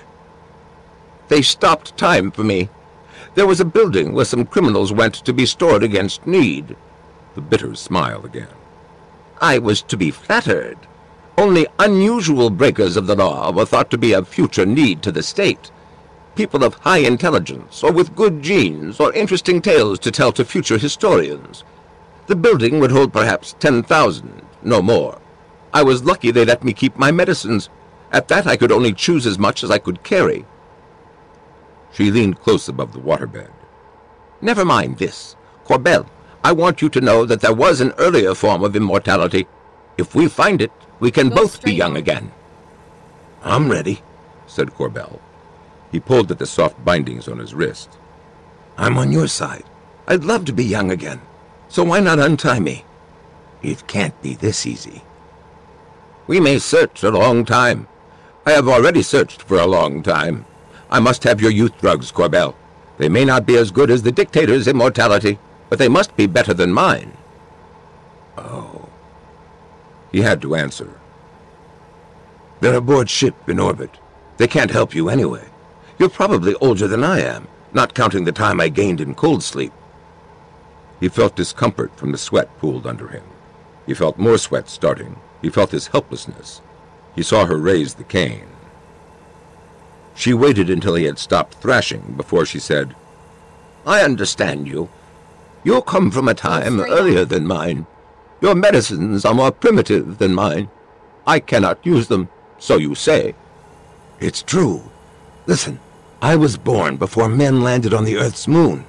When the cancer in my belly started eating me alive, I had myself frozen. There was... Frozen? she didn't believe him. Frozen, yes.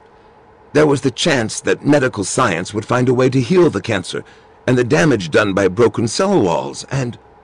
His defense ended in a howl. She held the cane on him for a long time. He heard. Open your eyes. He didn't want to. I'll use the cane. His eyes were clenched like fists, his face a snarl of agony. A frozen man is a preserved corpse. You won't lie again, will you? He shook his head. His eyes were still closed. Now he remembered what Peerssa had told him about phospholipids in the glia around brain nerves. They froze at negative 70 degrees Fahrenheit, and that was the end of the nerves. He'd been committing suicide. And why not? But he'd never, never convinced the Norn, Let me speak this right. said Mirelly Lyra Zilashishthar. I won't tell you about the first time I was taken from the zero-time jail. The second time happened because the zero-time generator had used up its power source. More than a thousand of us came suddenly into a world that was baked and without life. The weather was hot enough to kill. It killed most of us. The rain came down like floods of bathwater, but without rain we would all have died. Many of us reached this place, where days are six years long and nights are six years long, but life is still possible. I was old. I didn't want to die. Resigned, he opened his eyes. What happened to the others? The boys captured them. I don't know what happened after. I escaped. Boys? Don't be distracted. For many years I used my time only to stay alive. I searched for the dictator immortality, but I never found it, and I grew old. I was half lucky. I found a small zero time, a storage space for records in the forms of tape and of chemical memory, and for gene-tailored seeds. At first I kept my medicines in it. Later I emptied it out to make a zero-time jail just for myself. straight on. Then I altered the subway system to take any passenger from the hot places directly to me. I made warning systems to free me from zero time when the subway system was in use. Do you understand why I did all of this? My only hope was the advanced medicines that must be carried by any long-range explorer. One day, an explorer would come back from another galaxy or from one of our satellite galaxies. He would know no better than to land in places of Earth Straight that are too hot. He would need to come to the polar places immediately. She stood above him like a great bird of prey. The subway system would send him to me, carrying the medicines developed in my future that will let me grow young when my own medicines have only let me stay old. Corbell, you are that man. Look at me. She shrugged. You may be a thousand years old, or ten thousand. What you must know is this. If you are what you say, you are useless to me. I will kill you. Why? But he believed her. She said, We are the last of the state. We are the last of people. Those who remain are not people anymore. If we could grow young, we could breed and raise more people. But if you do not have the medicines, of what use are you? He heard her try to soften her voice. Consider, you are too old for even your advanced medicines to affect you. I am different. Give me back my health, and I will search out the real immortality that the dictator class used. You are old and frail. You will rest while I search. All right, he said. The old woman was a Norn, right enough. She was both life and death to him now. My medicines are in orbit. I'll take you to my landing craft. I'll have to contact my ship's computer. She nodded. She raised the cane, and he flinched. If you break your word, you will take your own life when I let you. 3. When she was safely on the other Get side ready of the to headboard, right. Corbell let himself relax. An almost silent sigh of released tension, followed by a wolfish grin and an urge to right. whoop, savagely repressed. At last, Corbell had set himself a goal. He had come down to die on Earth, but this was better. His hands came free. He sat up, but she gestured him back with the cane. She made him put his wrists together and bound them before she freed his ankles. The cloth stuck to his wrists like bandages. He didn't think he could pull loose. The bedroom's picture windows had stretched before they broke. The edges were like lines of daggers curved outward. He followed Mirelly Lyra, stepping carefully through the daggers into knee-high grass. She gestured him ahead of her, toward a bubble car like those he had found in one city. Where his feet fell, big insects fled, whirring. It was even hotter outside, but at least there was a breath of breeze. The sun sat on the horizon, huge and red, casting long, blurred shadows. A hard-to-see red circle on the red sky, smaller than the sun, must be Jupiter. The car seemed to rest on the very tips of the grass blades. It did not shift as Corbell climbed in. Mirelly Lyra gestured to him to slide over, with the cane, the cane that was anesthetic and instrument of torture and what else? He was afraid to learn, and climbed in beside him. She bent to the console, hesitated, then punched numbers. We go for your pressure Turn suit, left. said the translator at her belt. The car moved smoothly away. Mirelly Lyra half relaxed. She was not steering. Already Corbell knew that he could not return by car. He didn't know the destination number of the house. Down the hill and into a narrow valley the car drove, accelerating. Now they were moving at hellish speed. Corbell gripped a padded bar on the dashboard and wished he dared close his eyes. She was studying him. You did not use such cars? No, Inspiration made him say, We didn't have such things on Dogpatch. She nodded. The knot in Corbell's belly eased open. God help him if she came to believe that he had left Sol System ahead of her. He had to convince her that he came from her own future. But there must have been inventions he would know nothing about, things humanity would not have forgotten. Like what? A bathtub designed to fit human beings? A cold cure? A permanently sharp razor blade? Or a treatment to stop the beard growing at all? Keep left. A hangover cure that works? Left. If only I'd read more science fiction. Well, coming from another planet gives me some leeway. Turn left. I really thought I was the first man to reach the galactic core, he said. Your trip wasn't even in the records. How old are you? About 600, he said offhandedly. Our years. In Earth years, that's about... Don't get tricky. Count on her not knowing much about the Earth she came back left. to. 530. How about you? Nearly 200. My years, not Jupiter years. I'm surprised you never ran out of medicines. It's all over. The children let me take my supply with me into zero time. I keep them there so they will not spoil. A thrill ran up Corbell's neck. She'd keep the food there, too, cooking it in large batches and then stopping time for it. That way her meals would always be freshly cooked. And that private jail of hers must be very close to one of the phone booth termini. What was your son? she asked. The only sun he could even spell was Sirius. I never heard it called anything but the sun, he said. Just how much did you learn about the real immortality, the one the dictators used? Only that. When a dictator died, it was through violence. She scowled. Such events were remembered. My lawyer told me stories of one dictator warring on another, of war spreading to their families. Old stories from far before his time. From the sound of it, the dictators no longer served the state, even then. Only themselves. Like Greek gods, he said. He heard the gap. Mirelly Lyra's box had not translated his remark. powerful and quarrelsome, he amplified. Mortals did well to bow when the gods passed, and otherwise try not to get caught in the wheels. He glimpsed details of scenery as they flashed past green and brown hills, groves of dwarf trees. He looked for birds, but saw none. They went over a sharp crest, and Corbell's stomach dropped away. The car sped down toward what even Peerssa would have called a city. It showed black outlined in red, with the red sun almost behind it. There had been a geodesic dome. A piece of the frame, a dozen linked hexagons, lacy thin, still stood along one city border, but the city itself retained the dome shape.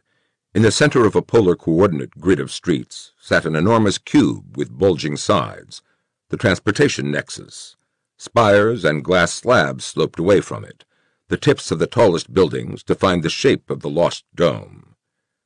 A tall glass slab near the center had fallen against the great cube, where, bent in the middle, it leaned for support like a drunk against a large friend. Otherwise, this city, Four City, was almost undamaged. One city had been largely ruins. Perhaps Four City was younger than One City. Perhaps its dome had protected it from the elements longer. Green dwarf forest and green and gold grassland. The vegetation ran downslope to surround the city on three sides. It stopped sharply at a nearly straight borderline that ran past the city's far edge. Beyond that line, a five to ten mile width of barren borderland stretched to meet the bright blue of ocean. Strange, Corbell thought. Then it came to him that Four City must have been built before the world grew hot and the oceans receded. It was that old, anyway. But something else was strange about Four City. It had not spread out along the shore. What must once have been a curved line of beach was bare of buildings. No roads joined it to the city. Corbell, peering, made out regularly spaced black dots that might have been phone booths. He asked, Do you know this city well? Play tour director. Where's your private jail, Mirelly Lyra? She said, Yes. He dropped it. From here we go to the west coast of... I know. My machines watched your landing. He had almost grown used to the car's reckless speed, but when they swooped into the city, his composure self-destructed. The streets had teeth, big chunks of fallen masonry, jagged sheets of glass. The car swerved around them, tilted 45 degrees and more to take corners, straightened and tilted again, while Corbell strangled the padded bar. The Norn studied him with shrewd old eyes. You're badly frightened. I wonder what your people used for transport. Phone booths, he said at random. For long-distance travel, we used dirigibles, lighter than aircraft. You traveled so slowly. Sweating, he said, We weren't in a hurry. We lived a long time. For an instant, he considered telling her the truth. Get it over with. Her deal could work for him. They would use her medicines to make him young. Young Corbell would search out the dictator's immortality, while frail old Mirelly Lyra waited it out in a rocking chair. It made good sense. But Mirelly Lyra was crazy. The car swerved violently, ducking under something huge and solid. Corbell looked back. Embedded in the street, like a Titan's spear, was a girder of Z-shaped cross-section. It was as long as the average four-city skyscraper was tall. The car slowed and eased to a stop beneath the great rectangular face of an office building. Corbell let his death grip relax. The old woman was prodding him with the cane, gesturing him out. He got out. She followed. The design of windows on the face of the building was not rectangular. The panes, largely missing, were laid out like a pattern in stained glass, and there were curlicues above the great glass doors. Corbell, still shaking in the aftermath of terror, pulled himself together. He needed to remember these. They might be an address. Two commas crossed, an S reversed, an hourglass on its side and pushed inward from the ends and a crooked pie. Two sets of doors dropped into the floor to let them through, then slid back up. Mirelly Lyra took them through a lobby padded in cloud rug, then through a corridor lined with handleless doors. The lifting boxes don't work, she explained. They climbed stairs, three flights, with pauses to rest. They were both panting when Mirelly Lyra turned down a hallway. Corbell's fingers worked steadily at a button on his undersuit. He'd been wearing it since Don Juan took off. He'd washed it several hundred times. He twisted and twisted at the button. One thick, flexible thread joined it to the fabric. It would have to part all at once. More doors without handles. Mirelly Lyra stopped beside the sixth door. She pressed something in her hand against the center of the door. As the door swung open, she put the unseen thing back in a pocket and gestured.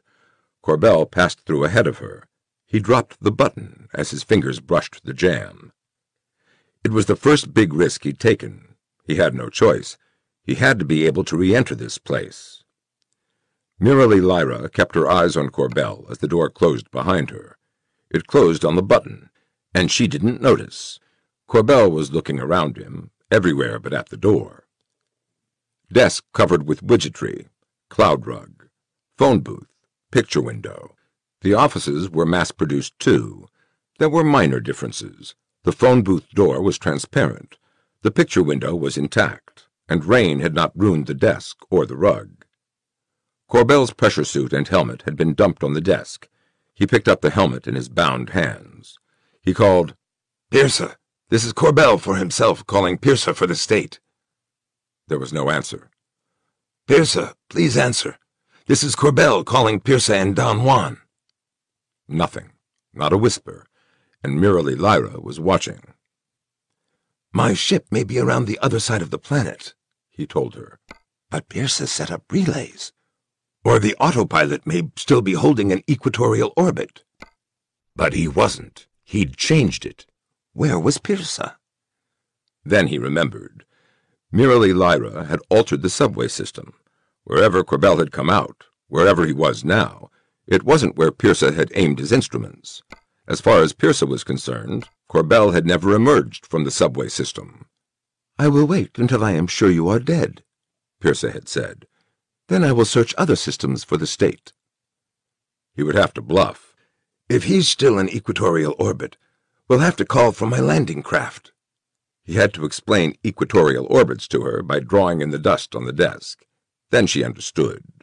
She said, We must use the tunnel cars. Take your pressure suit. Mine is in the terminal. The phone booth was too small. Mirelly Lyra clearly did not trust Corbell that close to her. She held him covered while she drew a symbol in the dust, the crooked pie. Push this key four times, she said. Then wait for me. You cannot outrun my cane. He nodded. She watched him through the door. He paused to note that four of the eight symbols on the keyboard matched the four he'd seen over the entrance. He pushed the crooked pie four times. Zap! He was elsewhere. The world beyond the door snapped into another shape. Vast, empty space, rings of couches humping from the floor. Here was another intercontinental subway terminal. Corbell fumbled in the belt pouch of his pressure suit, found a circle shape. His hands were trembling violently. Clear plastic disc. Right. With both hands, he guided it into the coin slot. He stabbed at the compressed hourglass symbol. Four, four, four, four. Nothing at all happened. The phone booth in the Four City police station must be out of order. Mirelly Lyra Zilashishtar stepped into view from another booth and looked about her, eyes narrowed and jaw thrust forward. She saw him, still in the booth with the door closed. He jabbed frantically at the crossed commas. Remorse, terror, guilt, death wish flashed in his brain and were gone. And so was the light. In blackness, he rammed his shoulder against the door and ran blindly out into corridors. Corridors with pale green walls and glowing white ceilings. Wide doors with no knobs, only small plates of golden metal that might have been electromagnetic key plates. He turned right, left, right, and stopped, face to a wall, sucking air. Fatigue soaked into his legs like an acid solvent. Would she know how to trace his call? He couldn't know. He ran. A bigger door at the end of the corridor dropped open to reveal stairs. One long flight ran diagonally between a sheer wall and the tinted glass mosaic face of the building, with doors at landings along the flight. He froze in fear. If she was out there, she'd see him. Then he remembered. They'd passed a building with this pattern on its face. From the outside, it was a mirror. He was, he counted, three stories up. He still didn't know what kind of place this was, but it must be some kind of public service facility. All right. By the time she got here, if she ran as he'd been running, the old lady would be exhausted. She'd want to go down. So did he, and she'd guessed that. He went up. At the fourth story, the door dropped for him, then closed as he passed it. He climbed another flight, then looked back and saw footprints in the dust. He stopped, resting, listening. No sound. He walked backward down the stairs, stepping in his own footprints as best he could. When the fourth floor door dropped, he threw his helmet through, then his pressure suit. Then he jumped for it. He had left a pair of sloppy footprints, but no other tracks, and now he was on cloud carpet. He stooped to brush away two dusty footprints, picked up his suit and helmet, and staggered on. He couldn't seem to get enough air.